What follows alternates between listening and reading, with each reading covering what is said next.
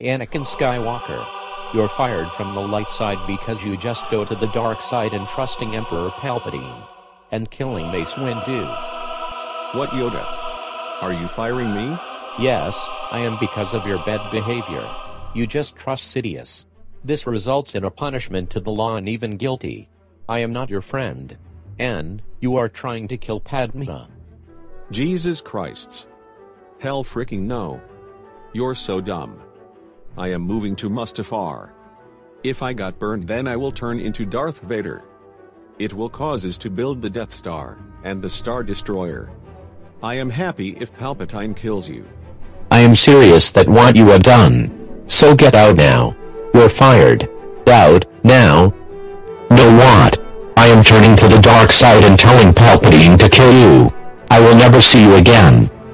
I am so done. So done.